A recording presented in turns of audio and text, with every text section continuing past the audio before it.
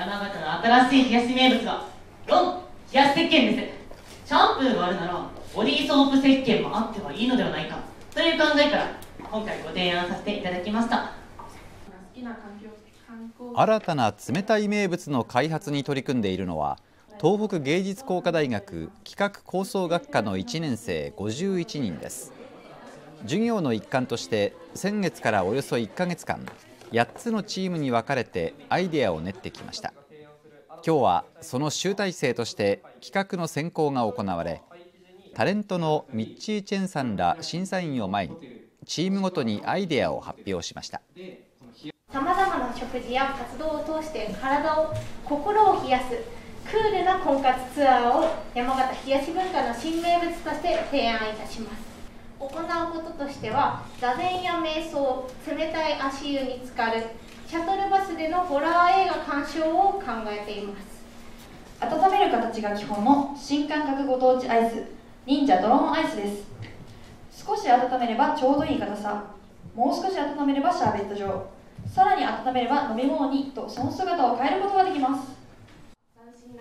話題性や実現性などの観点で審査した結果甘酒をシャーベットにして販売するアイデアが最も高い評価を受けました。山形の特産品であるお米を生かせるこの甘酒に着目し新しい山形の冷たい名物を考案いたしました。これ何かに見えてきませんか？そう人の横顔です。このようにパッケージの吸い口部分に口をつけるとまる山形県と口づけを交わしているように見えるのです。この商品ですごくその拡散力のある商品だなというふうに感じております。これからの未来を背負って立つ若者のアイデアっていうのは本当に素晴らしいものだなというふうに実感いたしまして。健康にもすごくいいのでこれからぜひ商品開発をしていろんなところで販売して山形県民をものすごく健康にしていこうということで頑張っていきたいと思います。